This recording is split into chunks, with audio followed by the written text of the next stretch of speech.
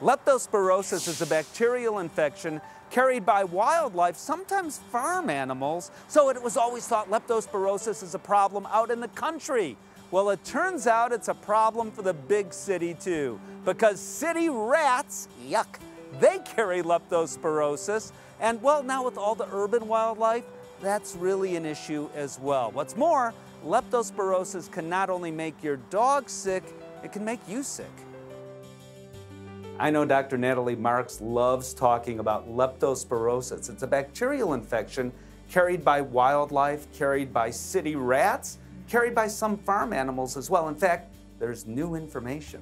Well, a new study just came out of the Ohio State University looking at the prevalence of lepto. How common is this disease in urban environments? What they found is, unfortunately, puppies are very susceptible to this disease. Six months of age and younger, but all breeds, all ages, all sexes can contract this disease. And unfortunately, we're probably going to extrapolate this to all urban areas around the country. Uh, in addition to that, it's what they call, what you call zoonotic. What does that mean? And it's a very important term for all families because these are diseases that are transmitted from animals to humans. So if your dog has lepto and is urinating uh, in the house, and we touch that and put that in our mouth, especially toddlers crawling around, they can be exposed and can develop leptospirosis too. Can we prevent leptospirosis? It's all about prevention, I assume. Yes, prevention's always the best strategy. So the first thing we want to talk about is vaccination.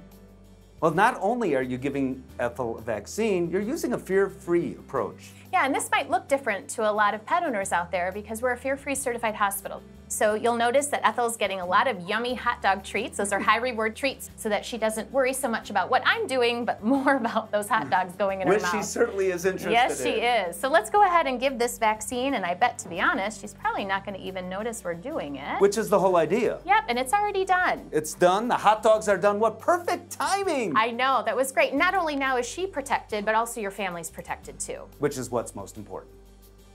Now our dog and our family are protected. See your veterinarian to learn more. For more information, check out our website at housesmartstv.com. House Smarts is brought to you by Broan. To improve the air quality inside of your home and learn more about the importance of air quality, visit broan.com.